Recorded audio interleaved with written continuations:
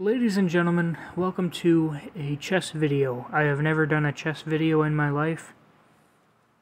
And, um, I know you couldn't see it just then, but I was staring at the camera doing my best impression of Gotham chess. So, this is a game played between my sister and I. My sister has a lot of fun with chess. And I also have a lot of fun with chess, but I also know like two openings and I'm rated 1200 in daily games on chess.com. I don't play really anything other than daily games. Um, and we just thought it would be fun to play a chess game.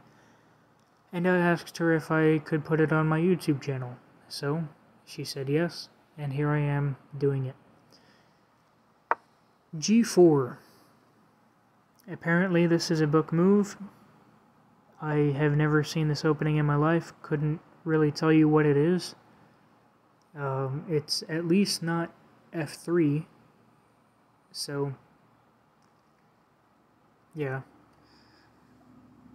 So I guess it's not exactly the worst opening, but me being a loyal Gotham chess fan, I play the Caro-Kann, which the computer doesn't like.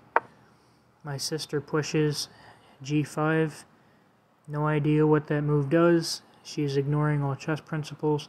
Take the center, develop your pieces. No idea. d5. Again, just playing the Caro-Kann the way that I know how. And she puts her bishop on h3. She is already worse. On move 2, and I take the bishop, and my sister says, Oh no! Oh no, I just blundered my bishop. And then she realizes that that was just a trade. So anyway, e6, closing the triangle. My sister puts both knights on the rim, again ignoring principles, but at least respecting the develop your knights before your bishop principle and I put a bishop on d6 because that is the way that I know how to play the caro and she just puts her knight right back thinking that I was going to take it and that I was just being nice by only putting my bishop on d6 and not taking the knight. I don't know. Um, anyway, so I put a knight on e7. My sister is far behind in development. And she puts her rook on g1. And I castle right into it. I put my king on the g file. I am locked in. And then she pushes her rook forward to g4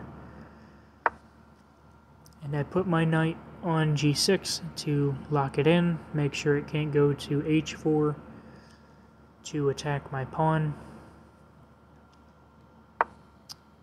And now, now she wants to take the center. So she plays d4.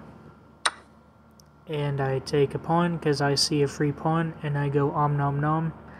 But the computer doesn't like it. The computer thinks that I should have done something else and that that was a mistake, and I don't know why, but neither does she.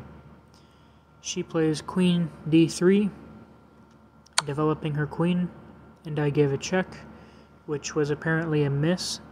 I don't know how. Um,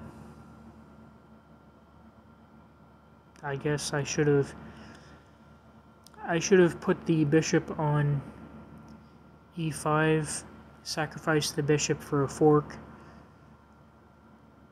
I don't know. I'm not looking at stockfish moves right now because this is not a very serious game. She pushes her pawn instead of blocking with the bishop.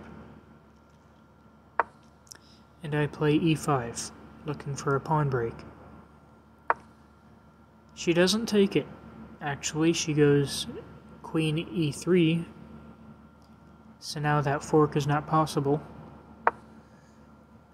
and I just defend the pawn. It is double defended now.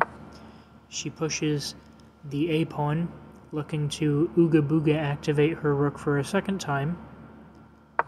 And I bring the other rook into the game. All of my pieces are developed, and my e pawn is triple defended and twice attacked. And she puts her knight on f4. And I take it. That apparently was not a blunder. That was only an inaccuracy, and I, I don't know. It looks like a blunder to me. So I take it. And her queen is now under attack. So she steps it back to d3 where it was just a second ago. I push my c pawn looking for another pawn break. And she puts her knight on d2, activating the knight. That is the second time this knight has been activated. And I, I take. c takes d4. I get my pawn break. She declines to take it, and that is somehow not a miss. I don't know why. But, anyway, now the fork is possible. This beautiful fork of the queen and the rook. And my sister did not even react. She didn't even see what was going on here. She just attacks my bishop. And I take the rook. I actually had to tell her that this was called a fork. Um, but anyway, so she takes my knight.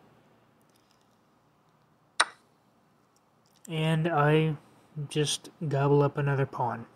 I'm looking for b takes c3, looking to attack the rook. Um, she doesn't take it, so I just take the knight. Again, I don't know how, I don't know how this wasn't a blunder when her knight was under attack and she just did nothing about it. She could have attacked my queen with that knight. She could have attacked my bishop with that knight. Uh, she could have actually trapped my bishop with that knight. So I just take it. She takes that pawn back and attacks my queen. I step my queen back to uh, get out of that attack. And she blunders the juicer, and I take it. She doesn't do anything about it. And I take the rook with check. She steps her king out. She is down 15 points of material. It is brutal. This game is pretty much over. And I push my b pawn. Looking to get rid of her a pawn. She, again, does nothing about it. So I just take it. And now she puts her queen on b3 and the computer says I have m8. When there is an M on the evaluation, the game is, for all intents and purposes, over. If you're playing at any level above beginner, to be honest. And I push my A pawn, or, well, I push my B pawn, which is now on the A file, to attack her queen. I'm looking to make another queen. She just puts her queen right back where it was. And I push that pawn again. Now she steps her king out. I check. She puts her king back. I take the queen. Again, another fork. Another a royal fork. I have had two forks on the same square with the same knight. Uh, no, that's not the same knight. And that's, yeah, that is the same square. But yeah, so Royal Fork, she just puts her king right back where it was. I mean, this is this is disrespectful to your pieces if you ask me. Playing like this, and she puts her knight, her king right back, and I have taken all her pieces now. And she can take my knight, but she doesn't. She is just committed to this back and forth game now. So I check, she puts it right back, I push my pawn and I make a queen. The game's over. I check. she puts it back. I mean, it was her only legal move there. No, it wasn't. She could have stepped over. Ch- no, yeah, it was because of the rook. I check again. And mate. Very fun game. Um, Rose, I love you. Uh, but watch Gotham Chess. Get a little bit better at chess. Um, I had a lot of fun, and I hope you did too. And if we play any more games, hopefully she will win next time, and yeah, it'll be a fun video. So, have a blessed day.